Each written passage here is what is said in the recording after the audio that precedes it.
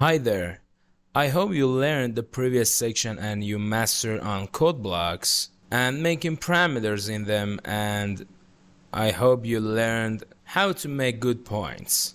Uh, well, we're gonna go back to the line subject and through the points that we made them, we're supposed to make good lines. Okay, let's see to it. Uh, right click, search point, uh, put it here, for example, I'm gonna make some points on the ground.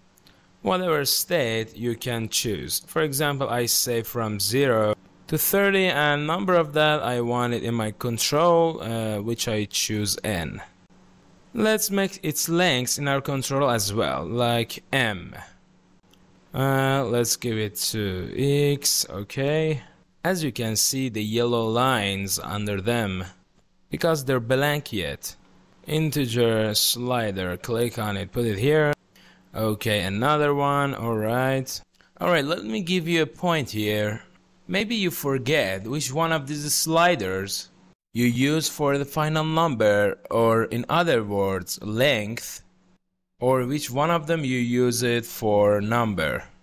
It's interesting that if you double click on each node Okay, let me show you. Yes, uh, you're able to rename them.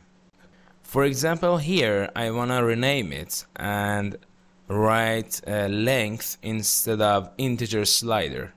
Well, click on accept. Practically, our final number is the length. Fine, rename it to number then accept. Okay, over here, let's uh, rename it as well uh, and here distance. Okay uh, sorry. Yes distance. Okay it's easier now. We should give it to this and give it to the number. Uh, for example here yes uh, length increase it and for number as well. Alright let's make some points in a cube diameter Okay, I copy from this point, Control C, Control V, put it here, and give this one to Y and Z as well. Okay, Control B, let's turn around. Okay, that's it. Uh, well, I'm gonna make some points on Y-axis. Uh, okay, Control B, uh, let's uh, copy from it again and put it here. Give it to the y. Yes.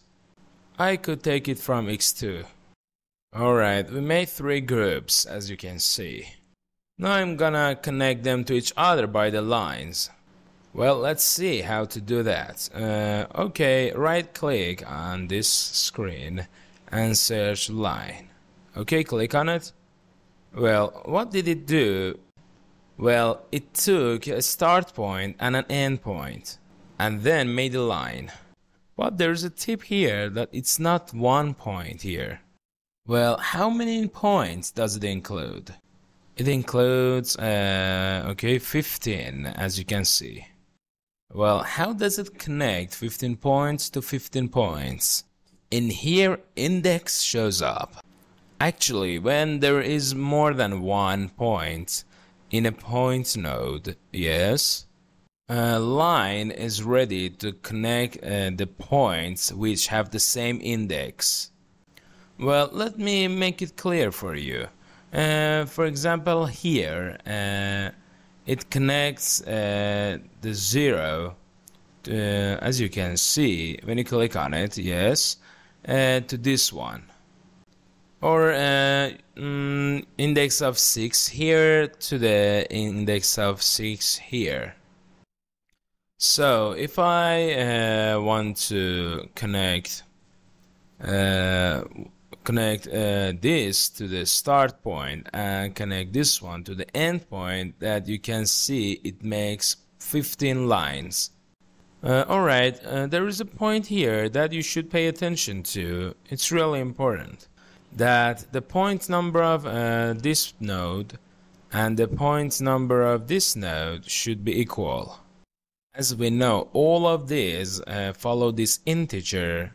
We are sure that their number is equal. It shouldn't be like, uh, you know, that we add various integers For example, one of them is 14, uh, another one is 12, and another one is 10. No, they should follow this one. Hence, we know their number is equal. Well, as we can see, the lines are made, but there is an orange line under it, as you can see, and it gives us an error. Can anyone guess what's the reason of this error? If you know the reason, you're so brilliant. Uh, great. Of course, because of, you know, these two points which they overlap. Uh, both of them are zero, they overlapping. So it gives us an error. So a node may give an error while it works. It means that in its list, 14 points have been done, but one of them hasn't. How to crack this? For example, here you should put 1 instead of 0. Then its error disappears because they don't have points which they overlap. Alright, well, again, Ctrl C, Ctrl V. Okay, put it here. Okay, uh, Ctrl B.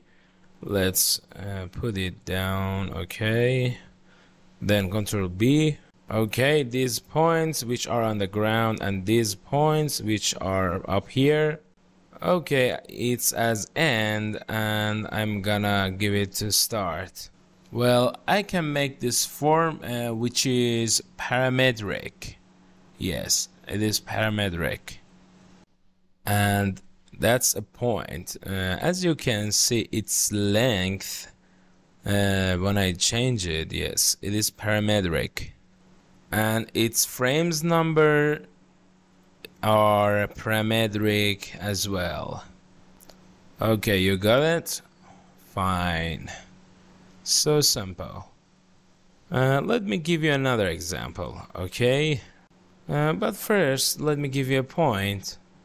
We told you before if you click on a node it makes highlight its output for you. As you can see when I click on it uh, it makes highlight uh, these lines it makes highlight these lines. Uh, but now if you uh, click on three dot uh, then click on pin and then if you click on only one index it makes highlight only that index and it shows you its number as well but sometimes we want to know where the specific line is, not all of them in total.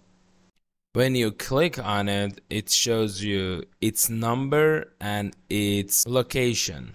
Don't forget, if you close it, it will remain like this. If you close it too, it will remain like this. Its number remains and they will be remain highlighted. If you want to get out of this state, you just need to click on it again and then make it out of highlighted state. Or it may make trouble for you. Okay, let's get to another example. Okay, I'm gonna remove all of it, so I'm gonna do it again so that you can see my hand to get easy with it.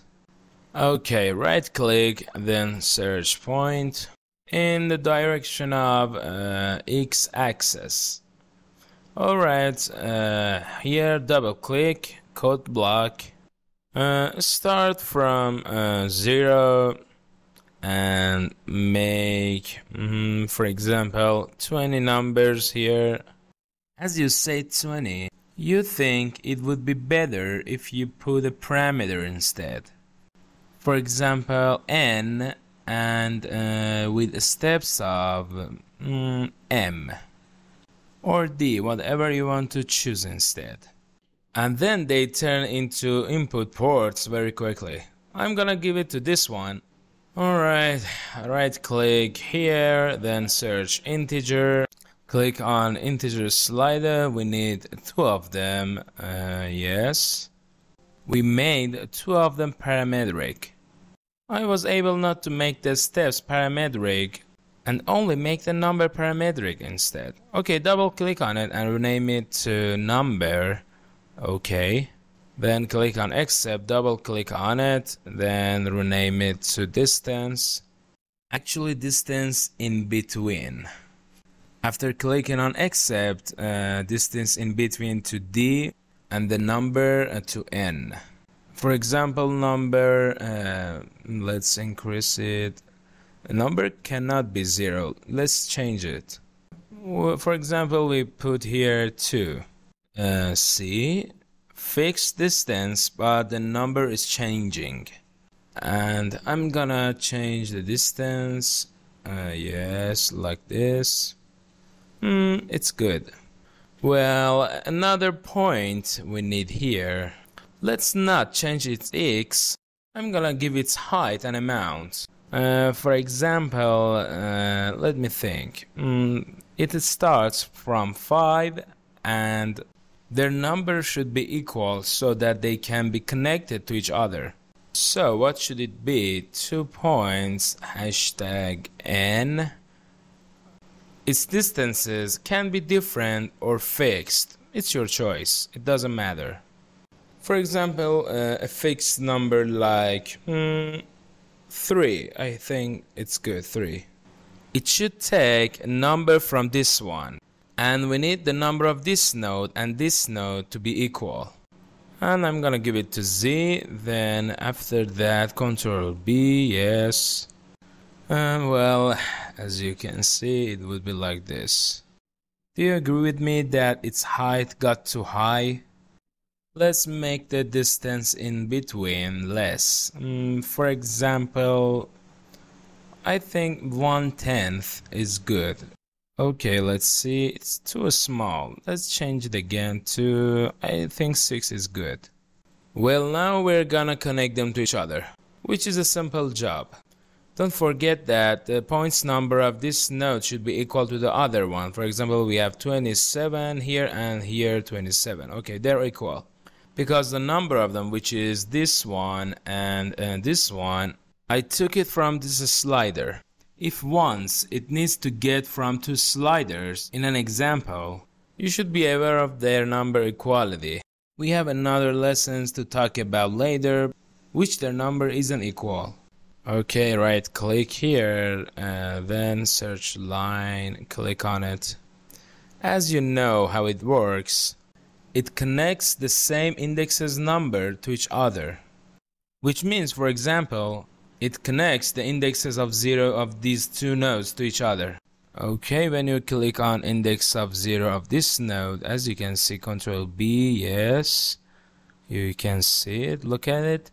And the index of 0 of this node, click on it, as you can see, it connects them to each other. Okay, let's get out of the highlighted state and give it to this one, give it to this one. Alright, finished. Uh, let's make it a better form. Well, well, alright. Uh, I don't want, uh, for example, this point to connect to this point. I don't want it to connect to the last point, which is first on the other side. In fact, I want, instead of indexes going down from 0, they start from the other side, which means it's 0 connects to this one's 26. Alright, if we can make the order of these points upside down, 26 takes place of 0, and it will become completely upside down. Hence, instead of connecting to 0, it connects to 26, because 26 plays the role of 0. We have a node here which can make the list upside down, and it doesn't matter for it what it is in that list. In fact, if the indexes are from the beginning to the end, this node makes them from the end to the beginning instead. Okay, right click, then search reverse. Alright, as you can see we have couple of reverse here. As you can see here, it looks like a bit an apple. Its explanation says it creates a new list containing the items of the given list but in reverse order alright uh, click on it put it here alright I'm gonna give this point to it it doesn't matter what you give to it whether it is a point or a line or an object or a letter it just makes this list reverse it makes upside down okay let's see the result Well, naturally the index of 0 of this one equals to the index of 26 of this one. Uh, as you click on 26, it shows you on the screen. Okay, let's deselect it. And if you click on 0, uh, they are the same as you can see. They became upside down. Alright, uh, let me give you a point here. When you give a node to another one in Dynamo to be worked on, the contents of this node won't be removed. We have two series of points which overlapping each other. When I click on this and this one, both of them, these points get highlighted. If you don't need these points and you don't want to see them anymore, you can right click on here and deselect its preview. While you deselected its preview, they are still there. You can connect them to a line node. In fact, you can still use them but you don't just see them on the screen. Alright, uh, okay, uh, this point is our original point and this one is its reverse. And I'm gonna give it to start and this is the upside points. I'm gonna give it to this one. Well as you can see this one connected to the last one and uh, here it's like that. Uh, let's control B and look at it uh, it's made like this. And if I uh, give a Y to it yes. Uh, alright I hope you practice and master on it. So uh, let's uh, get off this reverse from it. When in a point node there are many points and then you give it to the line indexes which are the same numbers they will be connected and make the line. If you want to make a list reverse use the reverse node. It doesn't matter what you give to it it just makes it reverse. Uh, okay and when you uh, connect this to this one this point connects to the last one instead of connecting to the first one. Alright, please practice uh, what I told you so far. Until then, I'm gonna explain the last practice in the next chapter. Okay, see you.